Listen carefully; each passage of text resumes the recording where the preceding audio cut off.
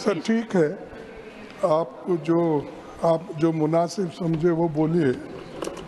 Sir, ये वायनाड के बारे में क्यों हंस रहे भाई? मैं कुछ भी बोलता सांप भी हँसते हैं और आप भी हँसते हैं, क्या? सर सर, मन दुखी है मेरा। मैं हंस नहीं रहा हूँ। मैं साफ़ कहता हूँ, मैं नहीं हंस रहा हूँ। मन दुखी है।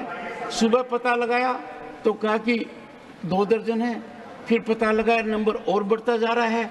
और ये ये बहुत अच्छा लगा कि सभी शक्तियाँ केंद्र की और राज्य की प्रधानमंत्री और गृह मंत्री गृह मंत्री और मुख्यमंत्री सबके सब इस मामले में सक्रिय हैं।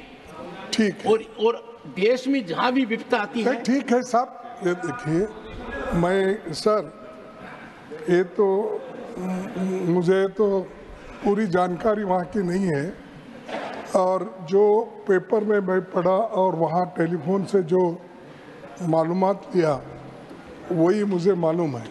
क्योंकि इतने लोग वहाँ पर मर चुके हैं, वो मट्टी के ढेर में।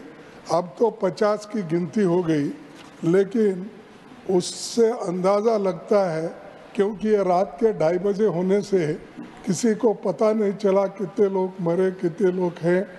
और इसके लिए वहाँ की जो महिला है हमारी एमपी सी उसके पास जानकारी है। और वो अपनी बात रखना चाहती है। आप मैं आपसे विनंती करता हूँ कि आप उसको अलाउ कीजिए। और जो चीज़ है जो बातें आपने यहाँ पर बताया सरकार अलर्ट है वो मिनिस्ट्री अलर्ट फलाना वो बताएँगे। फलाना नहीं बताया। नहीं उनका सुनने के बाद वो बताएँगे। आपको आप आप जो हमको इंफॉर्मेशन दे रहे उसके बजाय सरकार वो इंफॉर्मेशन दिए तो ठीक होगा। क्या स्पेशल स्क्वाड वहाँ पर गया है? क्या मिलिट्री गई है? क्या सेंट्रल पुलिस फोर्स गया है? क्या पैसे का प्रतिपक्ष का के नेता पैसे का इंतज़ाम हुआ है? प्रतिपक्ष के नेता डॉक्टर्स का इंतज़ाम कटाक्ष मैं पूरा समझ गया हूँ। और मैं जानता हूँ कि मुझे क्या इन्फॉर्मेशन देना चाहिए। मेहरबानी करके मर्यादित आचरण कीजिए। नहीं नहीं नहीं। आप आप इतना लाइट कर रहे हो नो, ये नो, यही यही तो मुश्किल है आपको अंदाज़ा होना चाहिए मैं तो ये कह रहा हूँ साहब सूर्योदय से जो- पहले जो देश का जो नेतृत्व मालूमात और जो मुख्यमंत्री। आपके पास है नहीं। वो सरकार हम सबको देना चाहिए नहीं। आप बैठिए, बैठिए, बैठिए, रेफर बैठिए, करें बैठिए, बैठिए।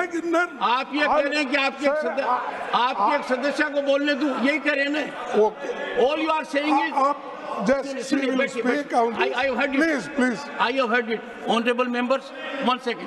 One, one, I, I have understood. Betty, Betty, Betty.